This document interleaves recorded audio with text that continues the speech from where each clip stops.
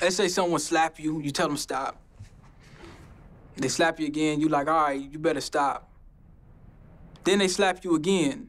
Well, stop don't work.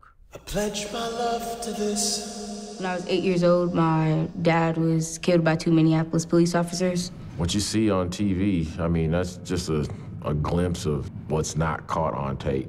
The United States of America. Oh. It's all law and order, right? Law and order where a citizen can shoot a young black man for wearing a hoodie because he feels threatened for his life.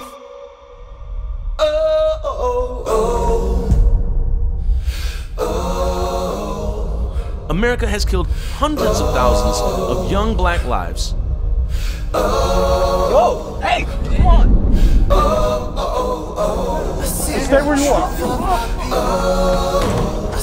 My hands are. What did he do? Hey, man, hey, I said stay still. Now put the gun away. Don't move.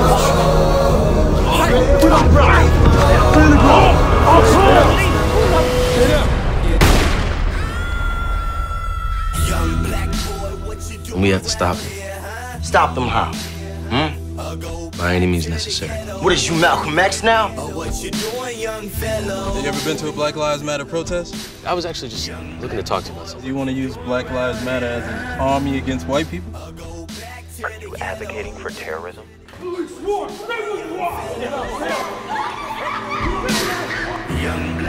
can't be broken by devils in blue suits. You all I got. You're like a brother to me. What you doing, young fellow? Yeah, I got hope. Yeah, I'm gonna make it. Yeah, I got a dream. You bet I'm gonna chase it.